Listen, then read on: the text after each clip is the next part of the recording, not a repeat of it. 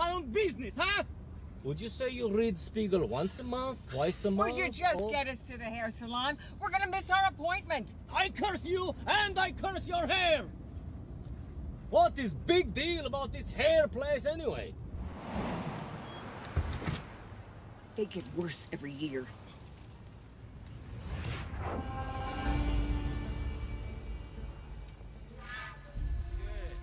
Take them to the truck. We'll just talk to them, but we'll find out.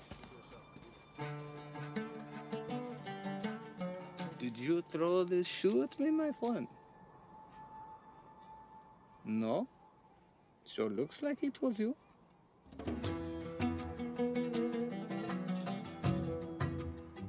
Then who threw it?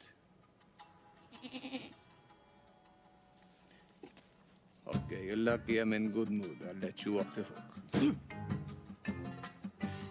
Nobody spits on me.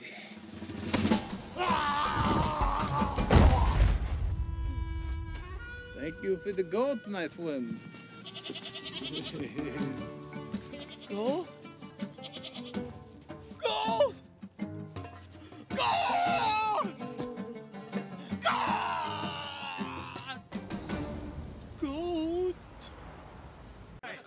But how could I not hate when you stole my goat? I am sorry about your goat. He was a good goat. I treat him like member of the family. Really? Yes. Did you rub his chin? Like this? Yes, sometimes for hours. He would make face if I stopped. You make the face.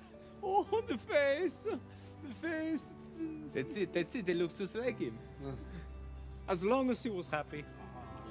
It's good. Very happy.